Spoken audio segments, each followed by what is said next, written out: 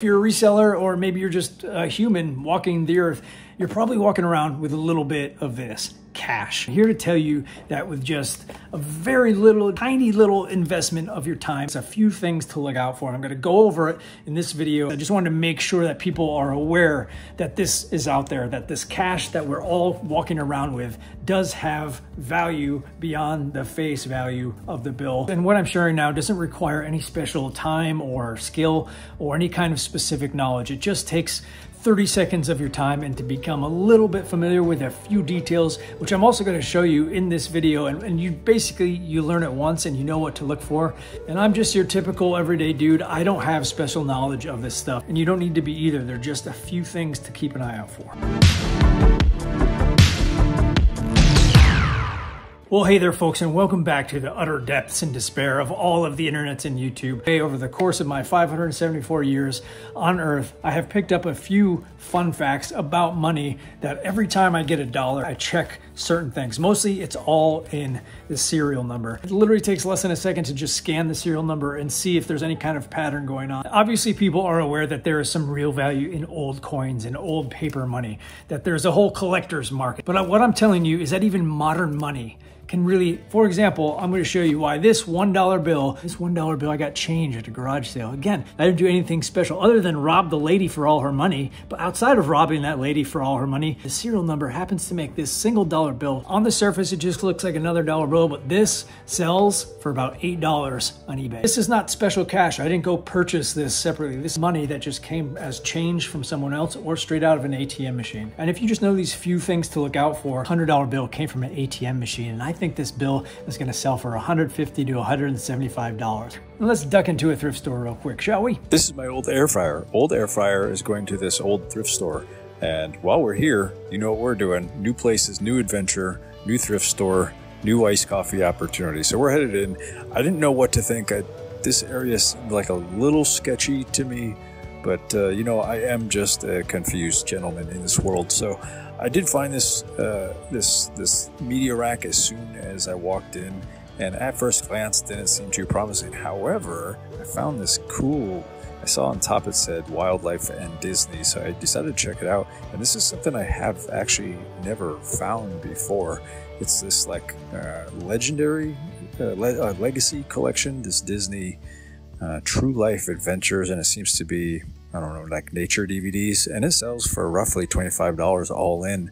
And then I find next to it this this Blu-ray, brand new, still wrapped up in plastic, and this sells for almost 35 bucks. So I was pretty shocked, actually. And at $3 and $4, count me in, score. Basically, simply, you're just looking for patterns within the serial numbers themselves. This particular $1 bill, you can see there, 01800810. It's a palindrome.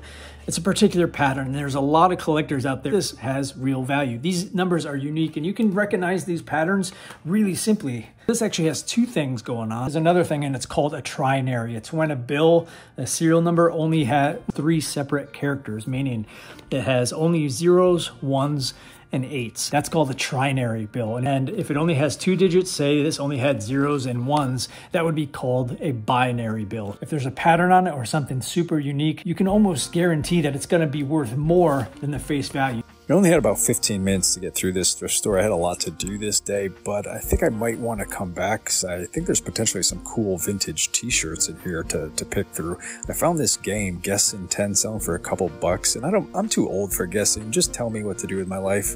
Uh, Amazon says it's worth 15 bucks. It's not selling for two, so I'm taking this home. I can make like three, four, five bucks. Found this isolated, lonely game, One Night Werewolf.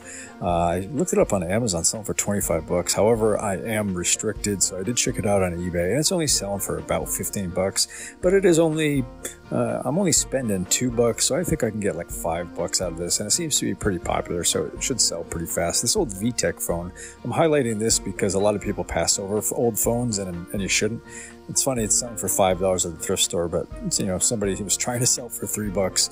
That that old. Uh, inflation at the at the thrift store but this one was worth about 25 bucks um, and i did plan on actually purchasing this, but when I looked at the phone, there's a lot of grime. So I could normally clean it, but it seemed like it was in the holes and everything, and I didn't want to deal with it. But I do look at phones and I sell a lot of phones, so keep an eye out for them. There's not a specific pattern on this bill. However, this is a very low serial number, meaning 7,888. People pay for really low serial numbers. Again, I'm no expert. I just happen to know that there's patterns and some have more value. This is called a repeater. This is also a trinary. It has just ones, zeros, and eights. This touches upon a few of the categories for collectors. One, that it's a repeating number. 1108 repeats. Also is a trinary as it only consists of three different numeric digits. I do think I could put this up on eBay for 150, 60, 70, maybe $180. And I'm gonna link an article below just to get a little bit of knowledge on this stuff can really make you some, some easy money. It literally takes less than a second to just scan the serial number and see if there's any kind of pattern going on. Just scouring the shelves here, I found these old hangy things that looked kind of interesting. And when I turned them over, they were Pampered Chef. This first one, it has a name on it, and I think it was actually it said 20th anniversary in somebody's name. So I, after a little research, I found out it was actually like a, a, gift from the company to that person for their 20 years service. I found this other one. Uh, both were only selling for a buck. But even this one, brand new, is only selling for like six or seven bucks. So uh, I left those behind. But Pampered Chef, obviously a brand to keep an eye out for. Really selling your cash, your actual cash on eBay to turn it into more cash is it's no different than selling actual merchandise and turning that into cash. It's just in a different form. See, this cost me this much, and when I sell this, I'm selling it for this much.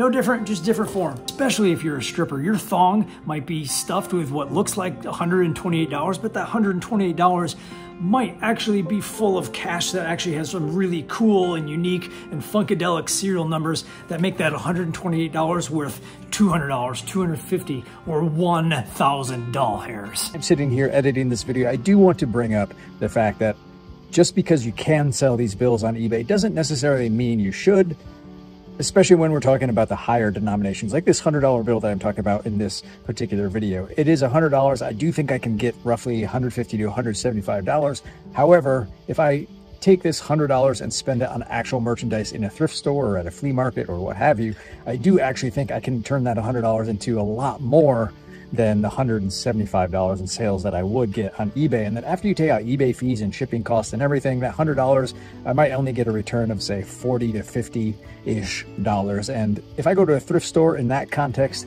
I wouldn't spend $100 on any particular item only to make 50 bucks. That doesn't really make much sense. So do keep that in mind as well. Some of the $1, the lower denominations in this video, sometimes when they can sell for 15, 20, 25 dollars or more and it's only a dollar, that's a pretty good deal. And they do, uh, I would think personally, I would sell that dollar bill when it's selling for 20 because I would make that deal at a thrift store. If it's something for $5 and the $5 bill is only selling for say $15, I'd probably spend that $5 despite it being worth 15 on something that I would make more money on at a thrift store. So really keep that in mind as you're watching this. The denomination of the bill, unless it's worth exponentially more than the face value of the bill, take that into consideration before you sell it on eBay because you probably can turn a lot of the fives, tens, twenties, hundred dollar bills uh, into something more than you would get on the return on eBay. But the point of this video is I just wanted to make sure that people are aware that this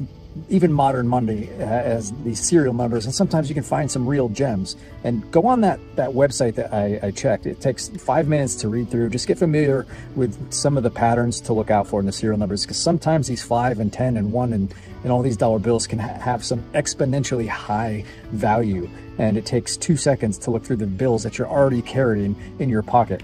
And also within that article, at the bottom of it, there's a site that they list where you can look up actual serial numbers of bills, and that site will tell you the, the, the estimated value of a bill based on the serial number. So you don't have to do much brain power of your own. You can kind of that can help make your decision for you. So check out the website. Check out both websites. I'll actually just put both below, and let me know your thoughts on all this this money stuff. Is it something that you're interested in, or you think it's just kind of a waste of time?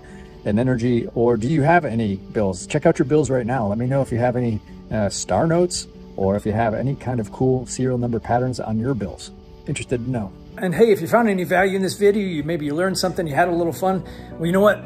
I sure did. So do that like and subscribe thing if you're so inclined. Thank you.